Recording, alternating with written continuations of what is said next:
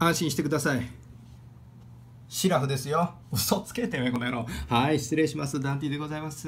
ランカットいこう一回カットいこうってことなんですね。もうだいぶ伸びたね。うんだいぶ伸びたっていうかね連載当時からこの髪型だからねあんまり伸びたこともわかんないんだけど親友だったらわかるよね。うんやっぱりね空手に塩をきたす。うんでね髪型変わらなすぎじゃない？君。女の子のキャラクターでしょ？ドラゴンボールですか？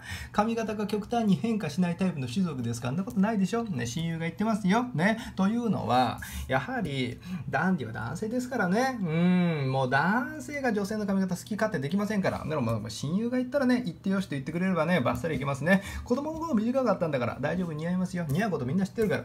でね、やっぱりね、空手大会でもね、君のことをね、ずっと応援してたね。周りにクスクス笑われながらも君の応援をやめなかった親友が言ってくれたらすぐ切ってくれるね。えー、でもじゃないのよ。ね、もう一回切っとかないといけませんよ、これは。で、なんで切るか。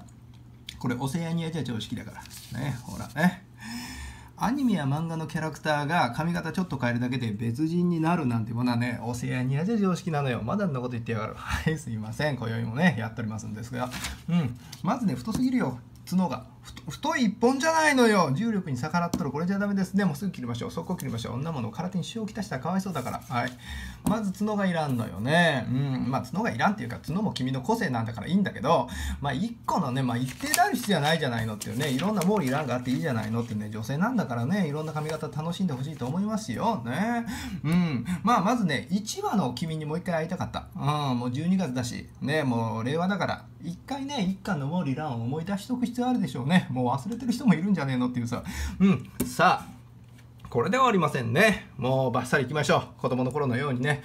どうして髪の毛切らないの？ね子供の頃短かったのにね。短いのも似合うと思いますよ。で、まずね、キャラクターが変わるから、イメージチェンジっていうのは大事ですね。さあ、こんなに変わるその子に対して、もう君だったらね、髪の毛短かったらね。でも子供の頃みたいにカットしてもしょうがないから、ついでに髪セットしちゃって、いいっすか？みたいな。チャレ美容院行ったな。もう、チャレ美容院に会いに行くとこういうことになるんですね。漫画が変わった。もう、それ驚くよね。ごめんね、驚いたね。うん、でもね、女性と付き合うなんてものは驚きの連続ですよ。女の子なんてのはね、見た目一定じゃないから、ね、いろんな毛利蘭を受け入れて、いい恋していってね。ダメ？